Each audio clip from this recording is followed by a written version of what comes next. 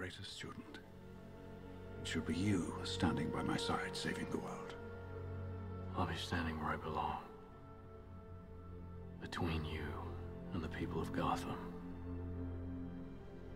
No one can save Gotham.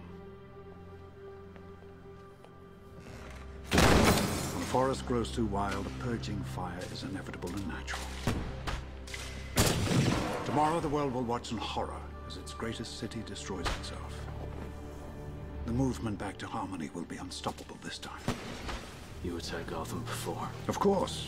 Over the ages, our weapons have grown more sophisticated. With Gotham, we tried a new one, economics. But we underestimated certain of Gotham's citizens, such as your parents. Gunned down by one of the very people they were trying to help. Create enough hunger and everyone becomes a criminal. Their deaths galvanized the city into saving itself, and Gotham has limped on ever since. We are back to finish the job. And this time, no misguided idealists will get in the way.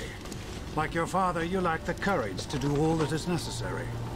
If someone stands in the way of true justice, you simply walk up behind them and stab them in the heart.